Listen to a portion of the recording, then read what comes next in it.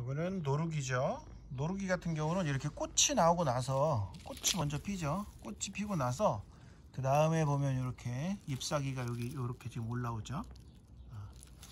이거는 노루기입니다. 노루기인데요. 요거는 이제 요거는 잎 노루기 잎사귀는 똑같죠. 근데 엄청 크잖아요. 이건 전년도 잎이고 꽃도 이렇게 큽니다. 아까는 꽃만 나왔죠. 근데 요거는 잎사귀까지 같이 있는 이 큰 거는 섬 노루기라고 하는 겁니다. 노루기도 이렇게 여러 종류가 있어요. 새끼 노루기도 있죠. 자, 보십시오.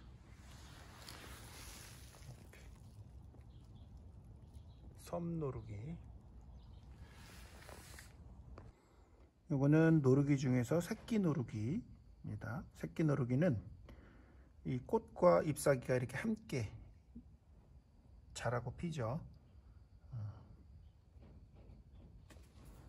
꽃 크기는 요만합니다.